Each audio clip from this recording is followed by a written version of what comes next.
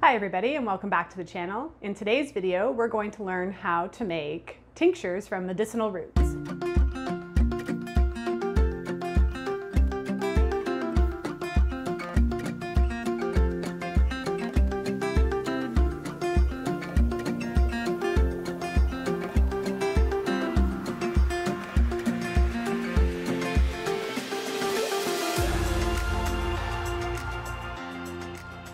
So yesterday afternoon, my husband and I harvested lots of medicinal plants off the property. And we filmed a video on that one too. So if you haven't checked that one out, I'll post a link here. It's probably a good idea that you watch that one first because it's gonna show you how to identify roots, how to harvest them properly, um, and, and all that jazz. So definitely take a look at that one. When we were done harvesting the roots, we did the vast majority of washing the roots outside. And I do strongly suggest this because it's really, really dirty work and there's a lot of dirt and soil and you don't want that going down your drain, um, especially if you're on septic like us. Uh, so what we did is we filled a nice big tote with water from the rain barrel and we scrubbed the roots as much as we could. Then this morning, I finished off watching them, washing them in the kitchen.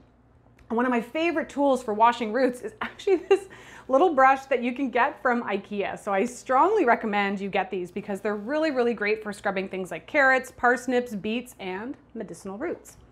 So once you have all of your roots washed, you want to make sure that they're really, really dry next because when I make tinctures, I have pretty specific ratios in terms of how much weight and too much water content on your roots is going to mess up those measurements. The next step you're going to want to do is to remove any parts of the roots that maybe were gnawed on by animals, got a little rotten, or areas where you couldn't get the dirt out. So you want to do this first and just slice away and get rid of any parts of the roots that are unusable. That actually looks okay. So even this here, this to me is not damage to the root. This is simply just the way the root grew. So I don't feel the need to cut that away. You're looking for kind of slimy pieces, areas that are a little black, you know, that just look rotten and pieces that you don't want to have in your medicine. So I'm gonna work my way through these now and I'll come back in just a moment and show you how we chop them and process them for tincture making. So I have a little friend who wanted to join me in the videos. Yeah? Mm-hmm. So what you're going to need for your tincture making are some pretty basic supplies. You're gonna want a decent quality knife. I actually prefer using a Mezzaluna. It is well worth the investment if you can find one of these at a kitchen shop, online. Um, it's my absolute favorite. And once I start chopping up the roots, you'll see why. And just as a tip, don't get the double bladed ones. Um, things get gunked up in between there and they are actually more trouble than they're worth. What else you're going to need? You're going to need jars of some kind. If you're using mason jars like me, you're also going to need a little bit of parchment paper just to act as a barrier between the lid and the jar. And you're going to need alcohol. Uh, I make my own menstruum from commercial alcohol, but the best and easiest one to source online is vodka. And optional, but highly recommending, is a kitchen scale. I bought this one probably a decade ago for $28, $29. It's well worth the investment. I think I've only changed the batteries a couple times. If you're going to get into medicine making, I really do think a kitchen scale is wise. However, not necessary. I'll show you how full the jars are once I'm done processing. So when I make 500 milliliters of tincture, I use 87 grams of herb material. And so what I'm going to do now is I'm going to turn on my scale with my bowl on the scale. This is going to zero it out, leaving, um, starting at a measurement of zero. So it doesn't include the weight of the bowl. So I'm going to do that now.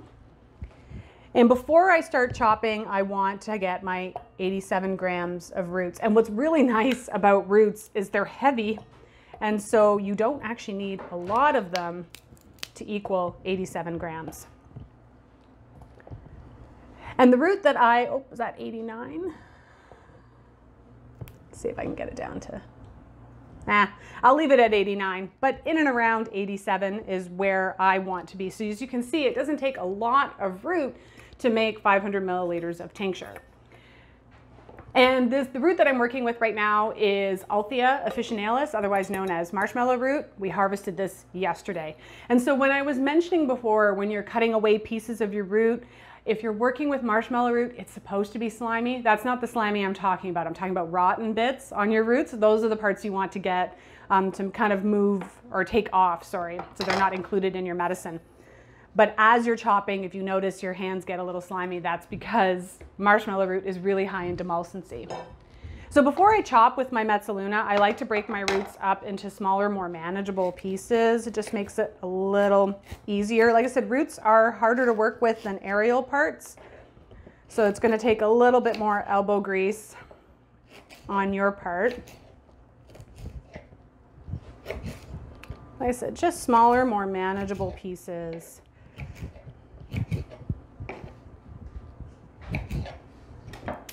And then I start chopping.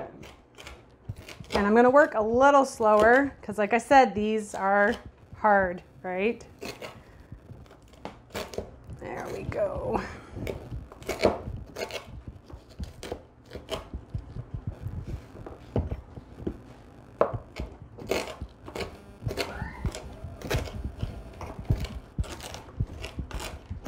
When you're working with fresh herbs like catnip or even oregano and thyme from your garden, one of these knives makes for really short work, especially if you have to do a lot of chopping.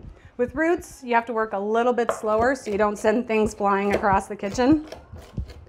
But as they get into smaller, more manageable pieces, I'm able to really work the knife well.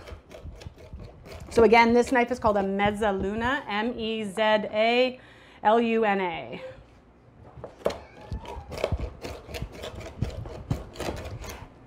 And you want to work fairly quickly and efficiently because as you start to chop your roots, they are now exposed to a larger amount of oxygen and they're oxidizing.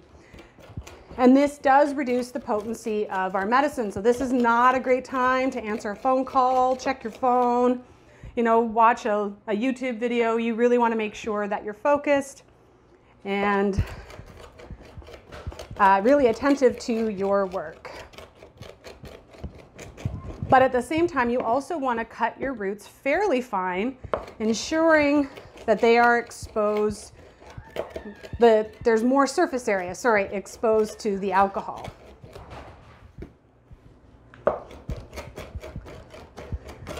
All right, so this is looking pretty good to me. I might go in with the other knife and just chop up any of the larger pieces. But I want to show you guys what 87 grams looks like in a jar, just in case you don't have a kitchen scale to work with.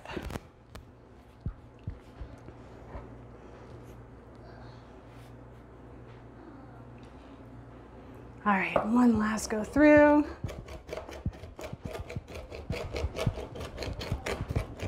All right, wonderful.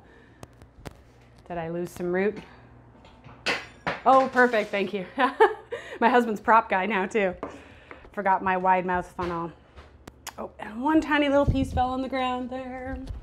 And if you want to be extra diligent with your measurements and weighing, you can actually put your jar with your funnel back on here too, just to ensure that what you chopped is that 87 grams.